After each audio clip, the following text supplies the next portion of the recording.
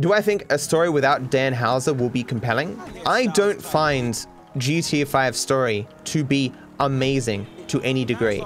I think it facilitates gameplay, which is all that a story really needs to do. I am not a story driven gamer. I read books, I listen to audiobooks, I watch movies, I watch TV shows, I, I watch YouTube videos, I, all these things to get stories. It's rare that a game story couldn't have been better if it was a TV show or a movie.